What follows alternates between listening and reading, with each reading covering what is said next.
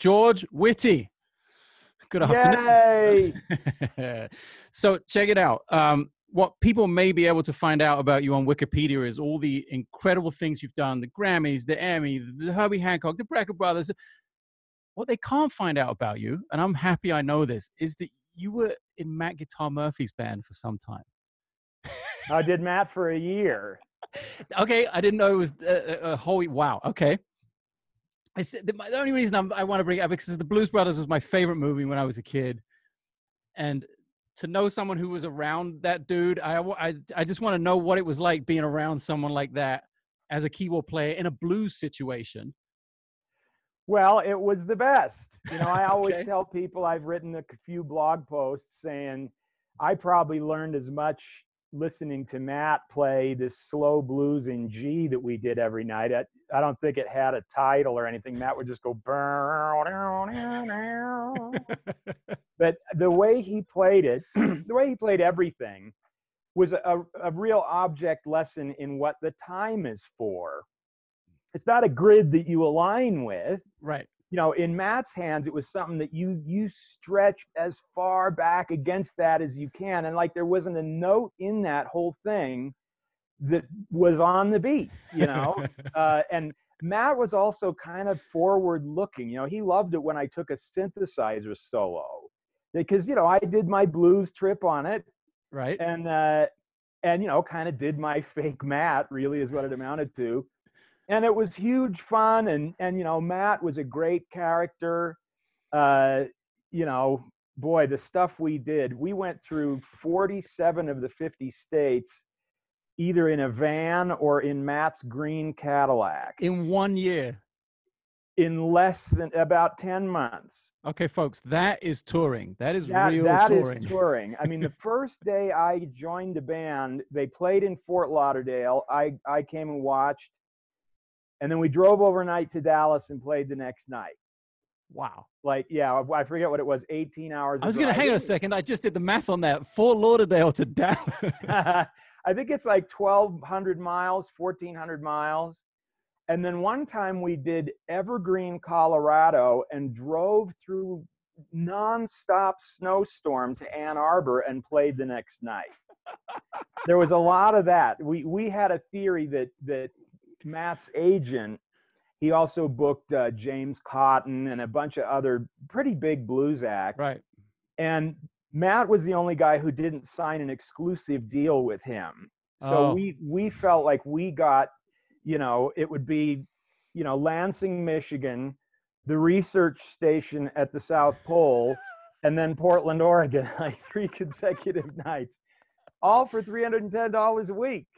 A week. Yeah. Okay, okay, okay. So I thought for sure you were about to say per night. No. per gig no, or something. No, so let's let's wind it back. What year are we talking? Let's put this, this, is into some context. 1986 and 87. Okay. And this Uh, was like how much touring had you done before that? Was this like a big initiation None. in oh None. yeah, I had done four cruise ships, and proud to say I got fired off of all four yes. with the whole band, you know, and the whole band was a bitchin' great band. James Jim Rotondi played trumpet. This Yeah. guy Pat Mallinger, incredible saxophonist from Chicago, played sax. It was, you know, we were great bands, but Yeah. we were insubordinate. So anyway, so and then you know Matt came through town. Uh, we were all shaving our facial hair, trying to get a gig at Disney. Matt was better, and uh, yeah, it was. were you living was- in Fort Lauderdale at the time? No, I was living in Cape Canaveral. Wow. Okay. Yeah, for for like three months, eating Cheez Whiz and bugles like a proper Floridian would. Lots of beer to wash it down, Wow. and uh, yeah, yeah, hoping to get into Disney. You know, and then I mean- came along, and uh, I did it for a year. And you know, I was the overnight driver because I didn't trust anyone else to to stay awake. Yeah. So I would be in the van, and Matt would be in his green Cadillac in front of us with the vinyl roof and you know the Coupe de Ville. Wow. And uh, we'd be driving down the road like at 3.30 in the morning and when matt started to fall asleep the van would, would start going off the road and i'd, eh, I'd, I'd beep on the horn and matt would jerk it back into place and then 10 minutes later again there he goes he's headed off the road you know? So in 1986 how old would he have been oh matt was like 65 or something then yeah wow and what And- had the had the Blues Brothers been in the late seventies?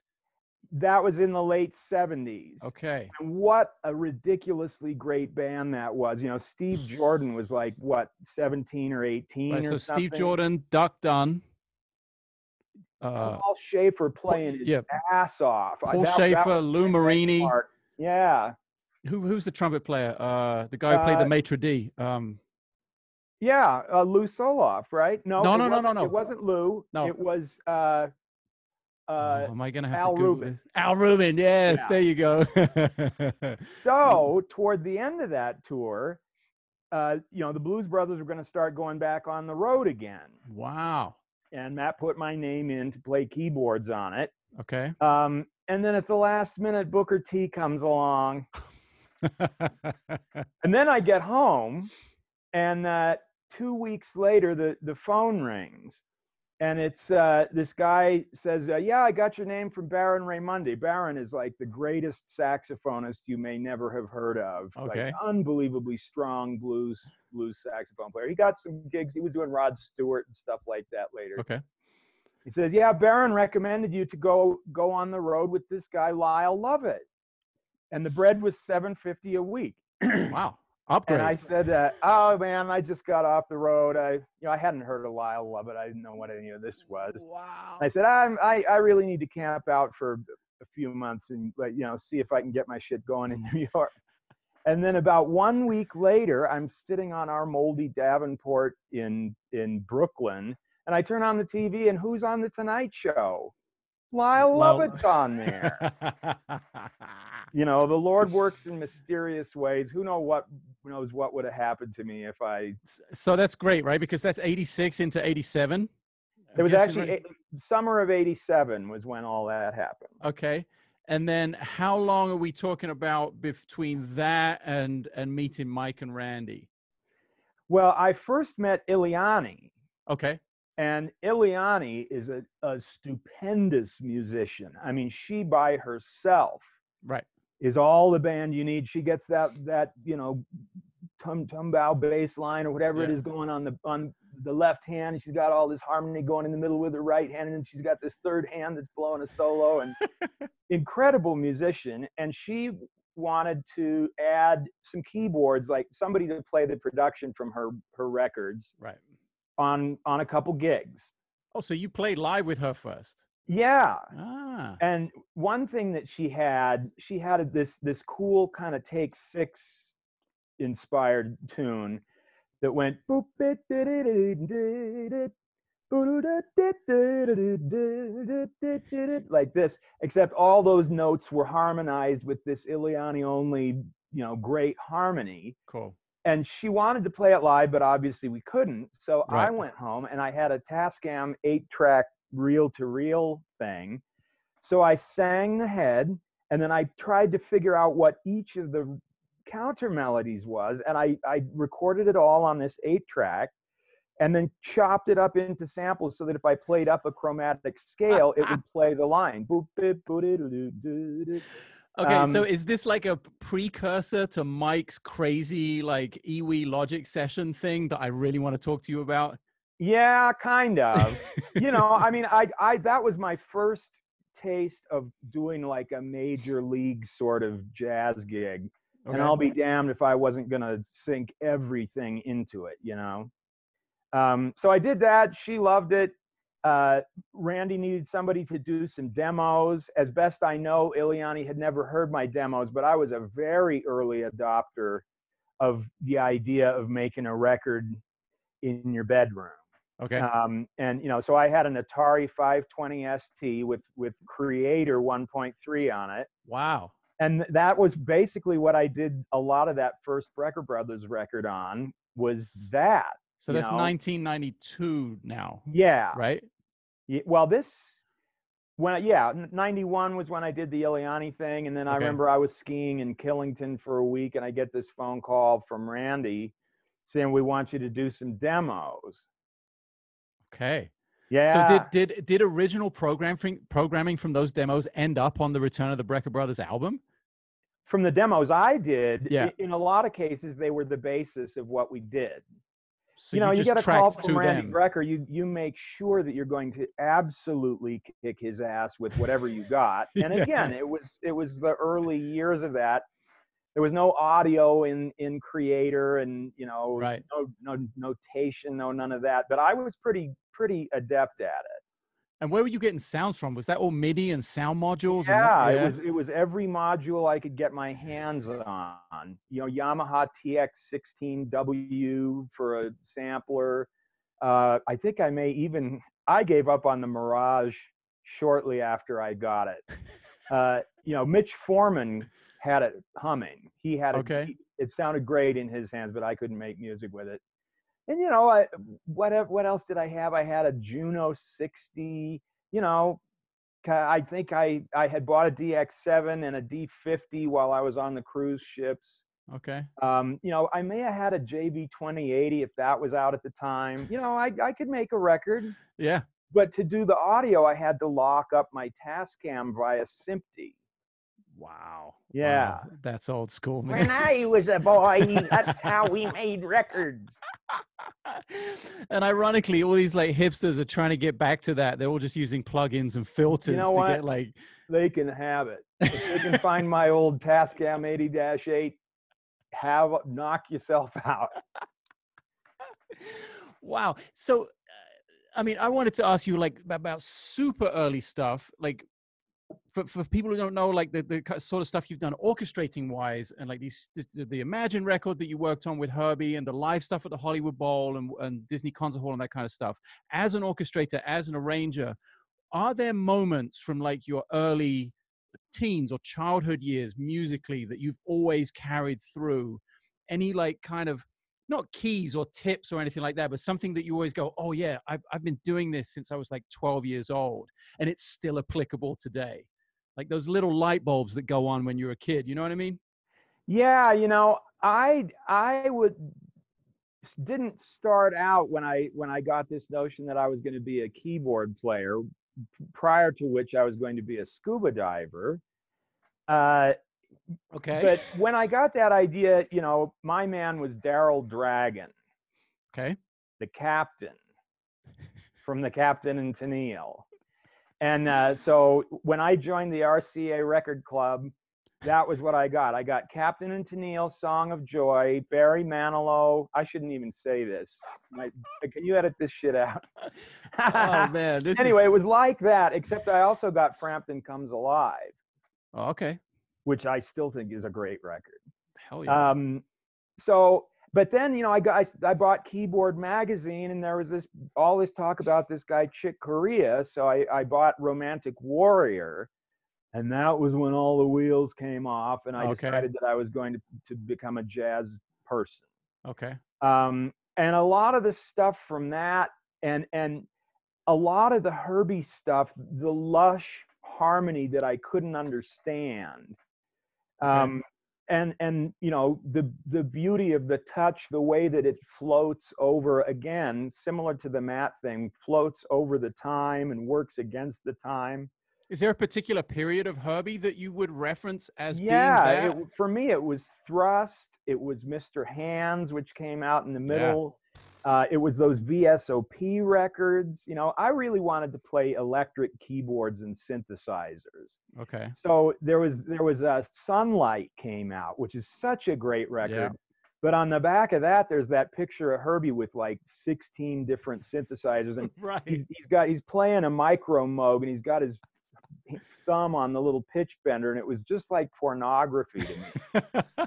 that picture, just man, look at all those keyboards, and he's he's whistling away there on the micro moog. I got to get myself a job at Sambo's so I can get a synthesizer. That was the, the thinking, and I did. wow. Yeah. Okay. So then moving forward into like how was Did that? I, I mean, question. What was the? Oh, yeah, no, no. I mean, like, what are those things that you took with you? You know, from well, that I'll tell time? you one thing. I, I put this in a blog post too. There's a little George Duke solo that he plays on the Rhodes on a tune called Sister Serene. Okay. I, I found uh, I Love the Blues. She heard my cry in a cutout bin in Coos Bay, Oregon. It was two bucks. Okay. And uh, I'd been hearing and hearing about George Duke, and I didn't, you know, didn't know what to expect. And the the the, the record cover is like a picture, a Depression era picture of you know some pretty blues looking stuff. Right.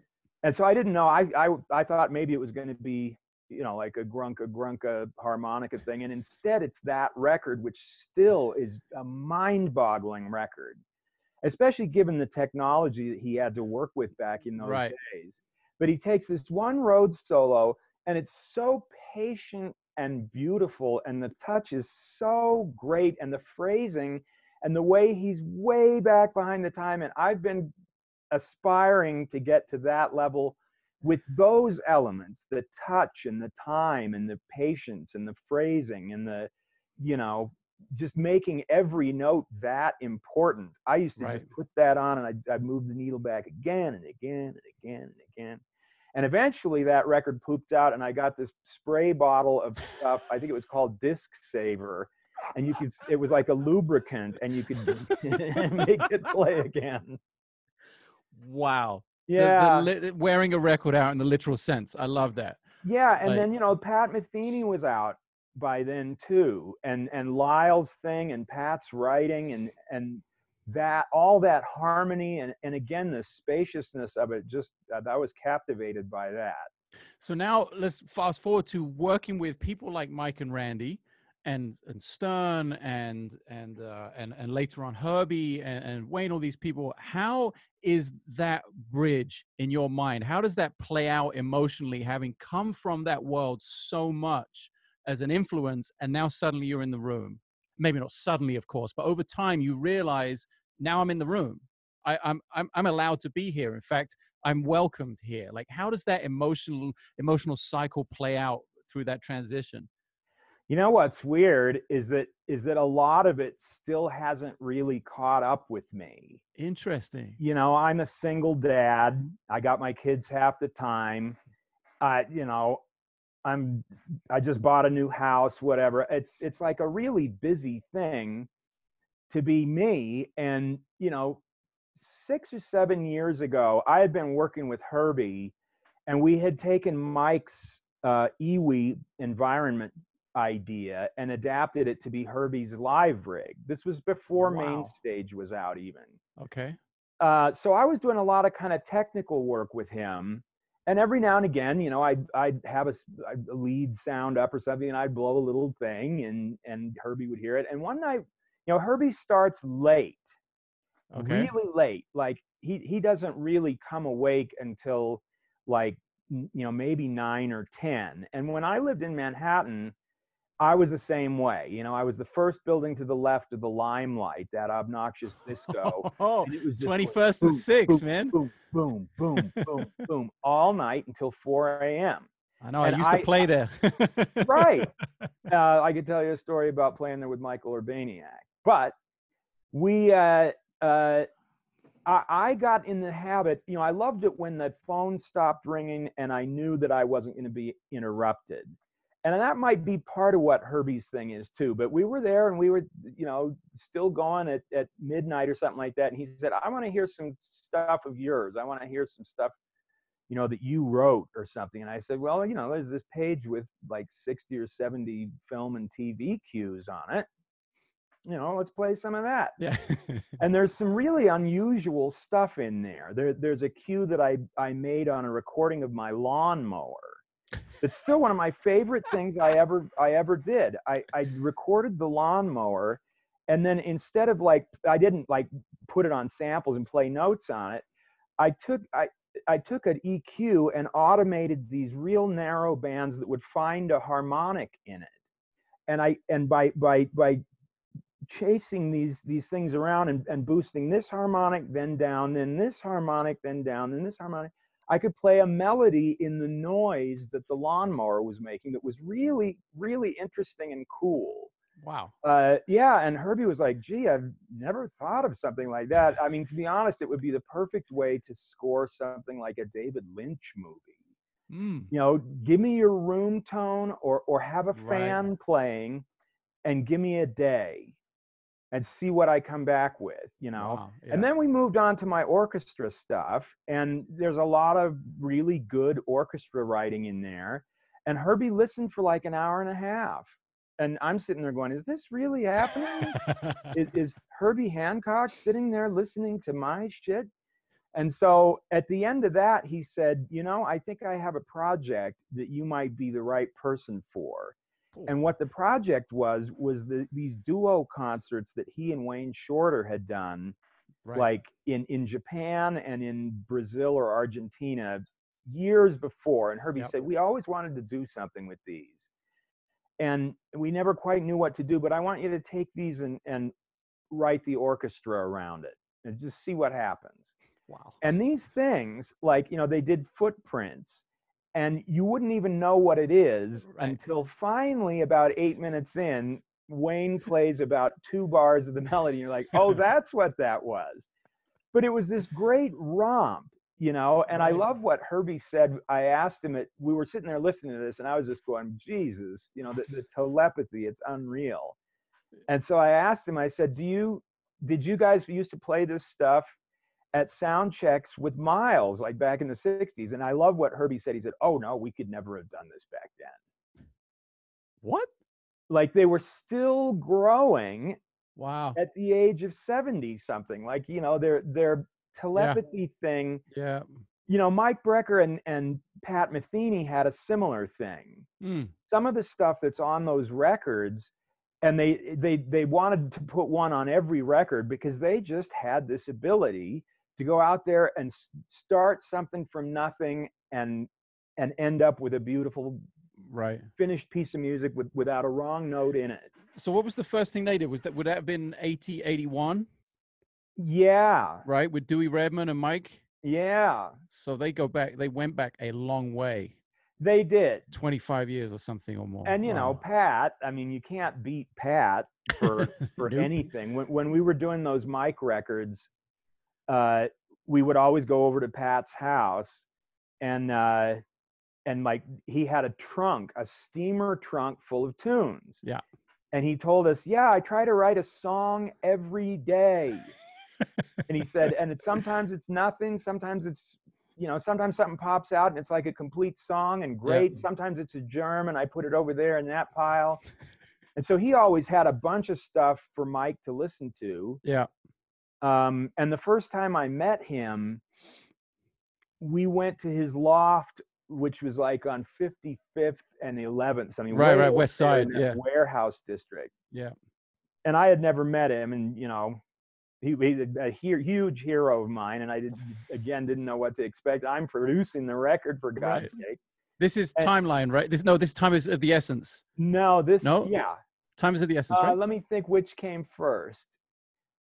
Uh, I think Time is of the Essence was the second one. And Okay. Tales from the Hudson was the first one. I might have those backwards. Oh, you did Tales from the Hudson? yeah, I did them Damn, both. how did I not know that? Yeah, Tales from the Hudson was first. That was like 97 or something. Right. Yeah.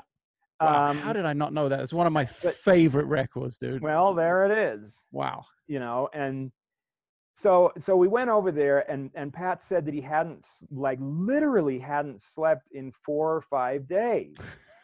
And Mike said, "Really? You know, 'cause he was Practicing? he was finishing the score for a map of the world. Oh, yeah. Recording it the next morning at what was then right track, I guess. Yep. Um, and uh, it with with an orchestra. It wasn't right track. It was one of those other big rooms. And Mike said, "So how do you stay awake? You know, you must drink a lot of coffee." And he said, "No, I had a shower stall put in over there." And he points to the corner, and there's like a little portable shower stall. And he says, "When I when I'm too tired, when I when I have to stop, I just go over there and take a shower, and it wakes me up for like an hour and a half, and I keep going." Wow. yeah, his work ethic Pretty insane. unreal, and you know he has the output to show for it over Christ. 45 years now hard to believe but yeah, 73 was, or 72 or 73 was Bright Size Life. Was it that early? Or was it? Yeah, or was it 76? Okay, so then it's, tw- then it's 76, something like years. Yeah, it's, yeah. It's, it's a long time either way. It's a long time to be that prolific. That yeah, right? that much a source of killer music, but that's Pat, you know. So wow, okay, so that's amazing to to find out that you did Tales from the Hudson. That is absolutely one of my favorite records. But then Two Blocks from the Edge came after that. Were you involved in that one? Uh, boy. That was think, like the quartet with Joey and Tain. Yeah, I think I was. Okay. No, I, I to be honest, I, I remember tunes off these, but I don't remember which one is which. But then the the the one I know you most for is "Time Is of the Essence" because your tune "Renaissance Man" is on there that we have played yeah. a bunch together with the trio. One of my favorite tunes. Um, and then, so what was the process with that? Like, I know Pat brought timeline to that record. I think right, the D minor blues. Yeah, he he he brought, you know anytime you can put a pat tune on your thing it, it's like a, just a gift from the gods. So i think there was more than one pat tune on there. Yeah. And then uh, we i remember we had you know larry goldings you could do anything with right. larry. Right. And we i wanted to make sure that we had some kind of bumping funk groove in there because i you know i so much loved larry and and bill stewart.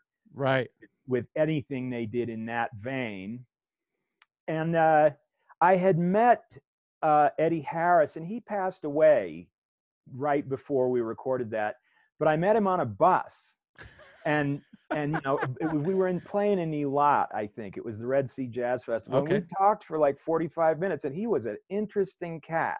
Nice. You know, an, an electronic inventor and all this stuff. If you want to hear a swinging track, look up on YouTube this thing called Eddie Who. Okay. And it's Eddie Harris and then uh, Les McCann, and they're both playing piano. Mm. But man, the groove. Yeah. But so so you know they go through this thing where where people are like you know Eddie Cleanhead Vinson. No, you know, and it's like they keep mistaking Eddie Harris. Eddie Fathead Newman. That's right. That's right. And it's really funny but wow. it's also like a deep groove that they play, like kind of this funny Lopin New Orleans thing. Nice. Anyway, so uh, I kind of wrote that tune in in a day or something like that, and just you know put in some stuff that I thought was cool and that was in that vein. Yeah. And then it wasn't that popular at the rehearsals. Really? Yeah, for some reason. I think it, I think there was too many chords in it and you know, there navigating. yeah, there's some changes in it. And it wasn't really coming off that great at the rehearsals. And Pat was like a little a little down on it. But we pressed forward, and you know, it was a big mission for Larry because he's got to play that bass line and navigate all the yeah. harmony that I wrote in there and stuff yeah. like that. A lot of reading, but also a lot of grooving. And it's bad enough me and you splitting those two things I up know. and playing it, right? yeah, there's no way I'm playing the left hand on that thing. I'll tell you that. But Larry is Larry. Right. Uh, and then we we got in the studio with it, and uh, we played it three times, and it wasn't really coming off. And so I said, let's play one as quietly as possible. Mm.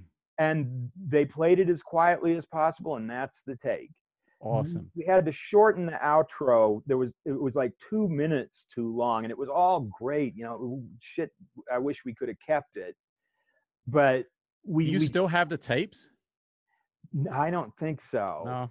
Yeah it always be i'm always curious to hear the the bit that got chopped you know like well or hear the other takes of yes, something like absolutely, that absolutely absolutely. so you know but the thing with that tune is dynamics it, right. it needs to cook along in second gear but then have moments where it, it's suddenly you know in fifth gear like the way we play it when we play it with third rail exactly exactly and i gotta say for a tune that you've now described that wasn't really you know didn't have many, much legs initially just about every live bootleg I have of them on the road, they play that and they play it for like 25 minutes a night. Yeah, like, but unfortunately, they got where they played it real fast. That's true. That is true. And I'm not murderously fast. That you know, it's yeah. things things belong at the tempo. It's almost like hearing, uh, you know, uh, compared to what or something as a yeah. you know, real up tempo tune it's kind of not where it belongs. But I loved that record, and Les McCann with, with all that sneaky harmony that only Les McCann knows what it is, you know, was a huge hero of mine too. And the other thing I remember from Time is of the Essence is that we needed a tune. You know, Elvin was going to be on three cuts, and Mike right. really wanted to play that tempo with Elvin. Not really up tempo, but it's kind of no, a medium. The medium, huge triplety thing. Right. Yeah. And, and it, and it's it's kind of booking along in a way that it's a good wave to surf on. And we didn't have a tune like that, so there there got this like little competition to see who could write something because we we had it have it by the next night. You oh, know. Oh wow. Yeah, or, or the next day, and I think was it was it Larry that came up with you know, okay. real simple head, basic head, but just just to get into that tempo and El- Elvin doing that, and it's such a great feeling track. So, uh, time is of the essence is early two thousands. No, no? I, I, think it's late nineties. Still late nineties. Okay. Yeah. So how was that? Like that was towards the end of Elvin's life, right? I think Elvin carried on for a while after that. Oh yeah. Yeah. I thought okay. But how and was that? Like he was definitely not a young buck at that point. No, but man, he but he still had the force, right? I remember, you know, James Farber is my favorite jazz engineer, like sure. living guy at least, right. maybe just ever. Yeah. and you know, we were recording on a Sony 3348, and no matter what James did, Elvin would spank that snare at some point in the track and just spike the thing and clip it and and like Farber eventually just said, "Man, we should really have recorded him on analog tape. It, it's the only way we can uh, control this." And he was putting all these pads in and trying to get it, but you know, he his drums are tuned incredibly high. Mm. Like if if you bounced a quarter off that his snare, it would like leave a hole in the roof. You know, it's the kind of thing that only he could play. But of course, wow. he made it look like he wasn't doing anything. Right. So, you know, and that had been an ambition of Mike's forever, just like playing with McCoy Tyner had been an ambition of Mike's forever. Right. Was Mike at all nervous at that point of doing a session with Elvin? I think so. Wow. Yeah, I think he had played with him in this context or that context before. Yeah, and, I know, saw Elvin them live. just an exceptionally gracious person. Yeah. Um, and you know, Larry was kind of intimidated and thrilled to be playing with with Elvin too, and uh, you know, I mean, how much more fun can you have than that? But Mike, as great as he was, kind of kept a focus on on what wasn't great about himself. Wow. It wasn't the only focus. You know, he was well aware that he was an unbelievable musician, but part of what kept him practicing, you know, he and Stern like you know yeah. really pushing the envelope at the in their 50s and whatnot. Yeah. Uh and and so mike i think you know i don't know if he was worried that he wasn't swinging enough for that or something. He, he always lamented that that he didn't play funky enough too. And and i remember one time being on the bus and and a, a richard elliott tune came on and mike was like oh man, my sound is so old fashioned. and you know, Richard Elliott wow. does have a cool sound in a lot sure, of ways. Sure, but that's Mike and Richard. I, I mean, wait, come on. Yeah. Like, it's like, okay, Mike. You're comparing immortality to, you know, good. yeah. Like, well, Mike, you know, I think a lot of it was just kind of he was just trying to stir the pot and see what people would say. But I remember we were doing a tour a Brecker Brothers tour, and Mike would get off the gig every night and go, "Man, I just can't put any air in the horn anymore. I, I think I'm going to have to hang it up. You know, I guess I can always write, but I'm a terrible writer." That was that was the typical rap. And finally, we were in Cologne, and he had to take his horn to the shop for something. A pad was falling off or whatever. And this was two weeks into the tour, and the the, the tech reaches in with a, a big pair of tongs and pulls out the foam windscreen from from one of those clip-on mics that had been missing for two weeks. No. That's and Mike ridiculous. had been doing the whole tour with this, this blockage in his saxophone.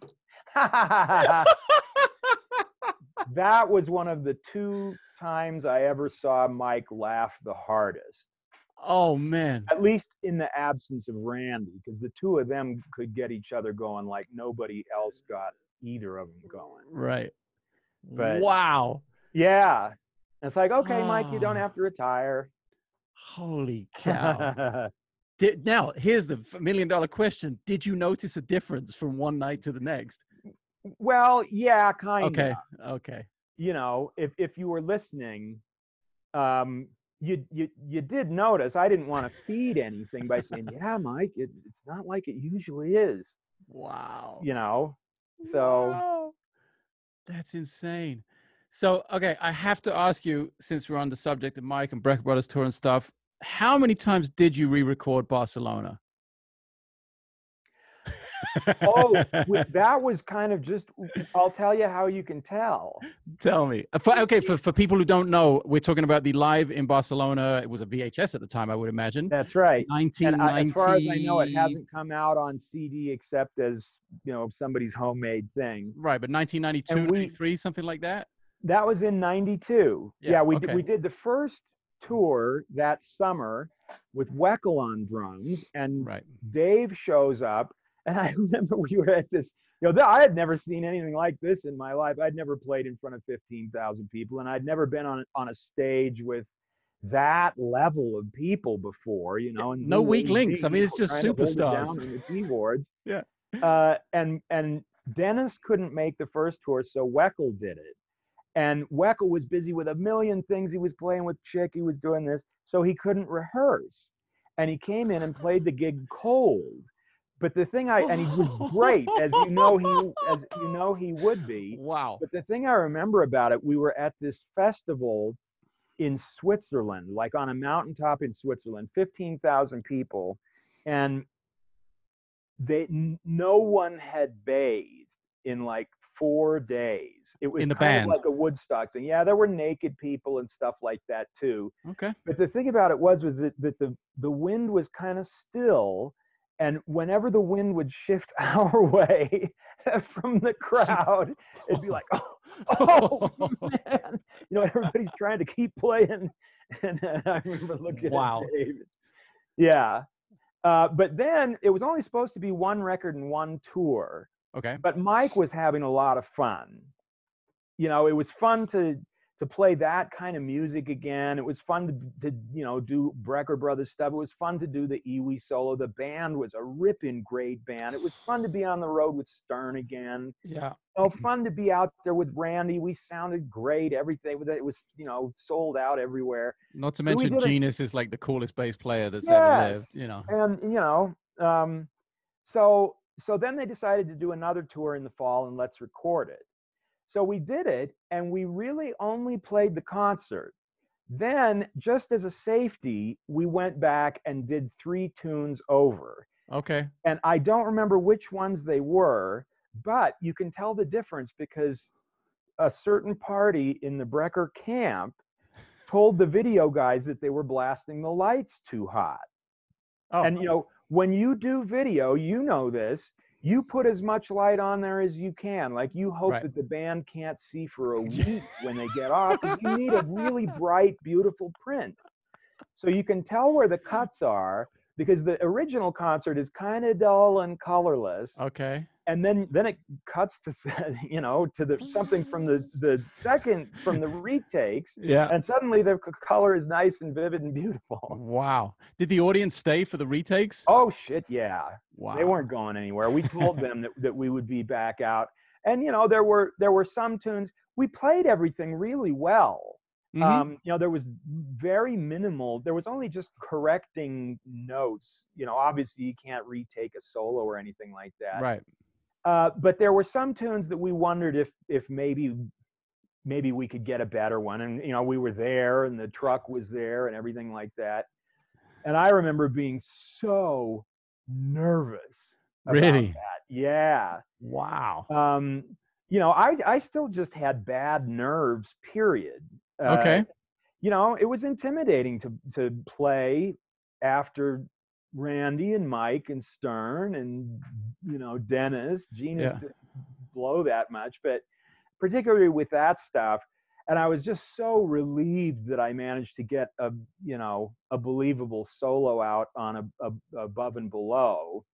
which is not an easy tune.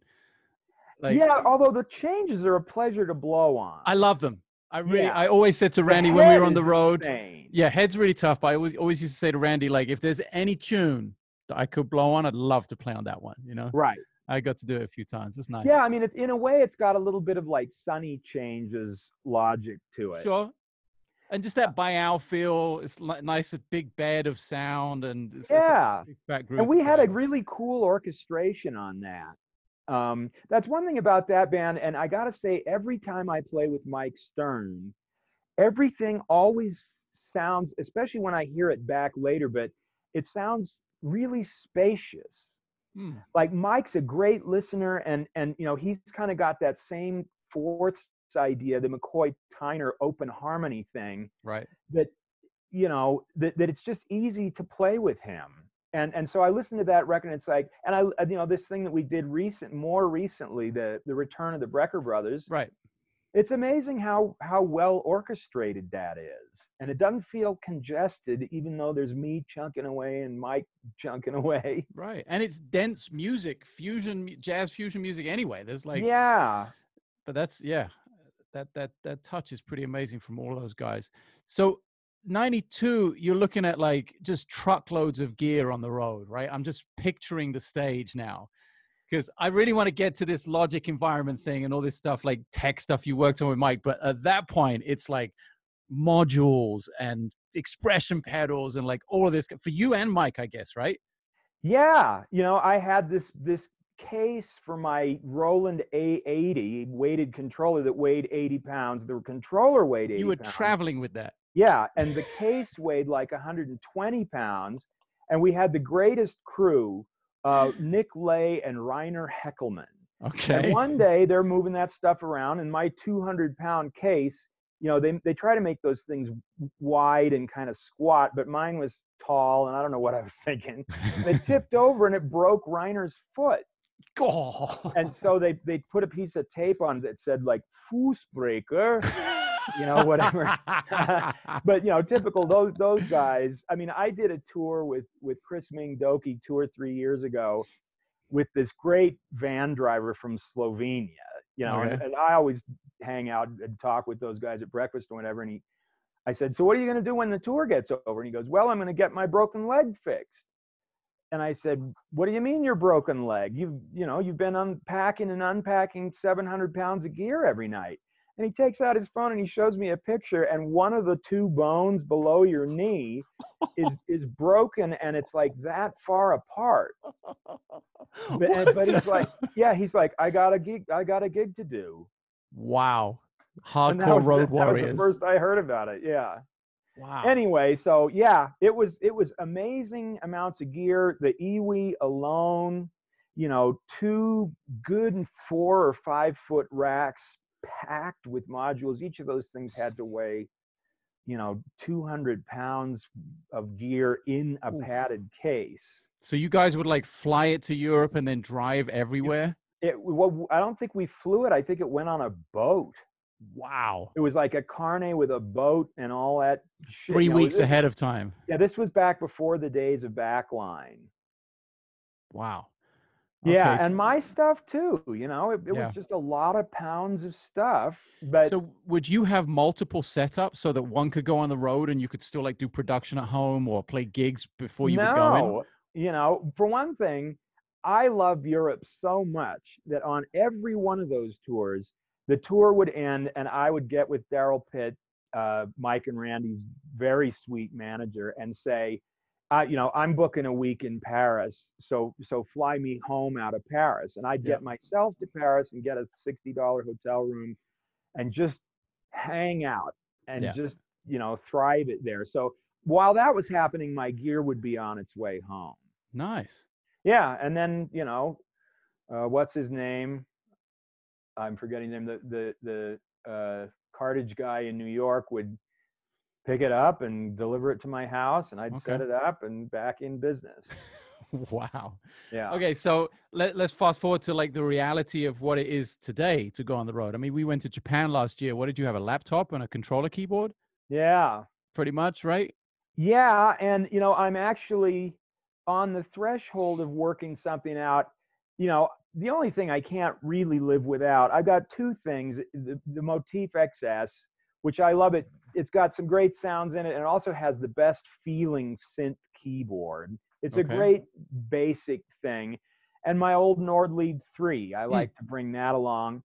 Um, but I'm finding that as I travel around and it's it's all backline and, and some of it, you know, you fly to Prague or you fly to Poland or you Right. fly to Ukraine or whatever it is, and they don't have what I need. Right. And I can't, you know, if it's a motif ES, I can't use it. I you know, I kind of can, Right. but my data isn't compatible with it. So what I'm working on is getting to a point where I'm just saying, these are my preferences. If you can get them, great. But if you can't, any three keyboards. And I have all my stuff sampled. You know, I wouldn't want to do a whole tour like that, but you got to be prepared that people are either going to balk at the expense Yeah. of of hiring you all the stuff you want, or they just actually can't get it, or they they say they can get it, and you get there and it's something else. Hundred percent.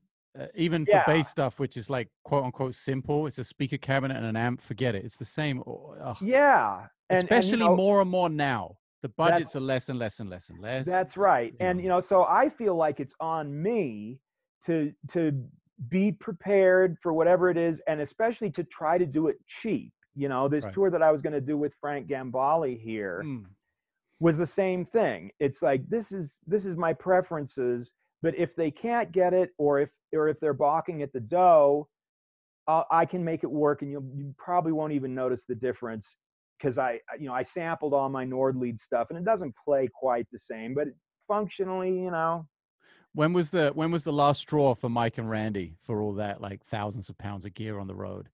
We did it right till the bitter end. Wow.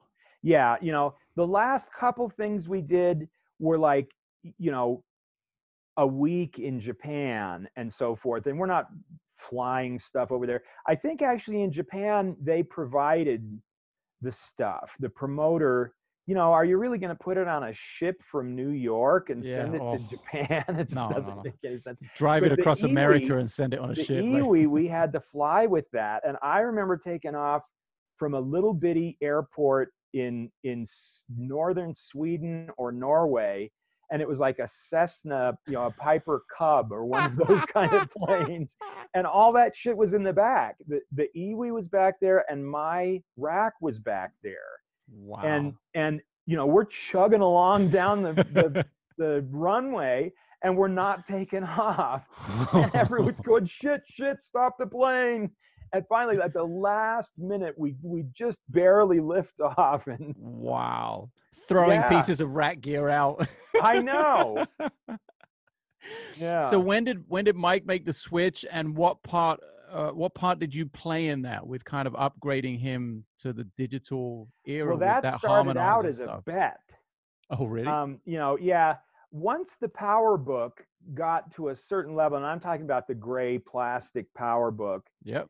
um you know I I somehow had like this idiot savant thing going with logic's environment and the little transformers that are in there you can do a lot of stuff with that and uh so i i kind of made mike a bet that i could get the EWI to happen in there and at that time there wasn't really much by way of virtual instruments in logic but reason had a pretty good palette of samplers and synthesizers and stuff like that and then you know the big question was how could we get the rotator to work?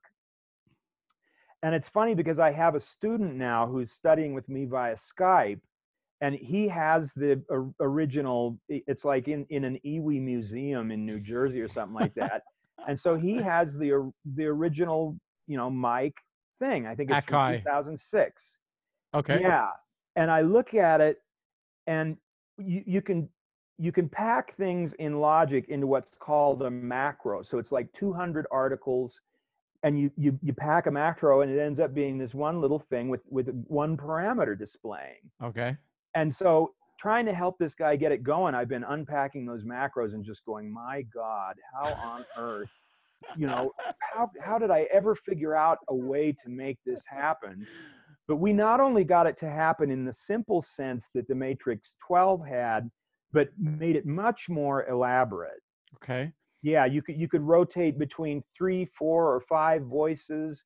Wow. I made little lights that would flash to show which which of the rotating intervals was playing because Mike, for him to program it, he wanted Right. to know that. yeah. And the interesting thing about about Mike and the rotator was that he usually had a note rotating above the note he was playing. So it wasn't a parallel voicing in top. Oh, never it was parallel. It was all the, the intervals were changing underneath it for every chord. So if you had one where, where one of the voices was rotating between three notes, one was rotating between four notes, and one was rotating between five notes, Okay. you didn't hear the same chord except every 60 chords, you know? Wow. Yeah, so it got very involved. But Mike also at one point was really bothering me to come up with a real time randomizer. Yeah. He, he wanted me to come up with something that where he could set an set an interval range up and an interval range down and whatever weird thing he was going to play in there anyway which you know is Yeah. out enough to start with he wanted a, a little device in the in the environment that would make it even weirder and i i don't i don't think i got to that before mike got ill Okay. um but i mean you can imagine what fun he would have had with that Oh man. Yeah. Well, I'm. you know, you know what probably would have come out of there What? bebop I just got take it re-randomize full it circle. the most ordinary right. wow. And so that was all condensed down into a laptop. That's pretty pretty freaking slick, man. Yeah, and it and it really worked. The one thing that was a drag was that the processor was just groaning under the load, especially when we had multiple things going at once. And so we had to set the buffer pretty high. Right. And and Mike really noticed that it wasn't as responsive as it was when when it was the hardware devices. Yeah. But then, you know, as it sped up, we were able to to reduce it a little bit and we were always looking for efficiencies you know is there a way to get this sound out of a chorus instead of using four voices and stuff like that Right. Well, listen, man, I have like 8,000 other questions I could ask you right now, but we should do this again at some point. Um, sure What, what, what, what are you doing right now and where can people find you more importantly? well there's various places to find me Number Um, one most important place is probably gwitty.com All right, I will put that- music.gwitty.com but if you type in www.gwitty.com it'll also get there awesome. and that has all my stuff in it. It has a couple different ways to study with me. Um, one of which is via, via my website, jazzlessonsonskype.com, Right. where I do you know one-on-one Skype lessons, and And not just, not just piano, but arranging and production and composition, like the whole spectrum, right? yeah, I actually have three students who are pretty close to finishing the, a record. You know, and so Mm, w- they'll write a tune and we'll put it into logic and i'll show them how i would go about you know doing drums on it playing a bass line we how to mix it you know what their thing should be how to optimize their sound and so forth. One of them uh, is a, a guitarist in florida and we we've hired Tom Brechtlein to play on a few things. We hired Weckl to play on a few things. We got randy to play on something. Uh, he wants to get Armand Sabal-Lecco to play on something. Um, maybe we'll get you to play on something. And he's great, you know. yeah. Uh, so a lot of it is is production. So we screen share, and you know I'll boot up whatever track they're working on. We you know we share it via Dropbox, and say, okay, well you started with this. Here's where I'd go from there Nice. and I'm pretty fast at that stuff now. And I, I, you know, people figure out after watching me do it a few times, and next thing you know, they send me something that's a lot more finished sounding. Right, right, right. And I think by the end of this, you know, they could do something mostly by themselves, but you know, maybe run it past me for a few lessons, and we'll mix it together, and I'll Sure. throw some keyboard solos. Because you do mixing and mastering as well, right? At home. Oh yeah, Yeah. Awesome. And And, you said you were thing- just finishing up a new record with Eric and Randy. Eric Marienthal and Randy. In fact, it's done today. Nice. Yeah, a great record, and you know, you can't work with two sweeter people than that. And it's kind of a, a mix between like a funky Brecker Brothers style record and some stuff that's a little more radio friendly. Sure. but we've had a great time making that. And then I teach at artistworks.com. That's Oh, yeah, of course. like a, a subscription based uh, thing. I filmed like 210 lessons for that Whoa. that start at the very beginning and get into some fairly advanced stuff. And students can send what they call a video exchange of them playing, and then I do a video exchange. And they're supposed to only be like four minutes, but I can't shut up, so they're like 10 minutes of me rambling about this and that. And you know, but it's feedback. It, it Sure. kind of gives you the best of both worlds for not a lot of dough. Right. And then also at gwitty.com is my my archive of stuff I've done for TV and film. I've done Oh, the stuff that you were talking about that Herbie was listening to. for. Yeah. Oh man, that's awesome. if you if you go there and click on the music link, it says film music, and a lot of these have you know have the video that I work with. Uh, nice. and they're all I've done a bunch of stuff. I've done comedy stuff. I've done drama stuff. I've done chase scenes. You know, and it's all really good music. So cool. Yeah, Well, I highly recommend people checking that out. And hopefully, we will be back to playing live and maybe even doing this in person at some point. I think uh, another trip to Japan is probably another trip to Japan is always in order, but that would be the best. That that week was dude, such a great yeah, little interval for me. yeah, that trio is is a crazy great musical trio. It's such a listening band. Yes, that's the You key. know, I mean, All about and- the ears. uh, yeah, and Tommy is like second to none as a listening, Yeah, communicating drummer. big time. Yeah. So yeah, So, so that's from that's hopefully on the horizon, man. Absolutely. All right, man. Well, thank you for taking the time, dude. This was awesome to nerd out and and talk about life, man. I really Yeah. appreciate it. Yeah. And I'll- cool. and I'll see you soon, dude. okay. All right, man. Later. See you later.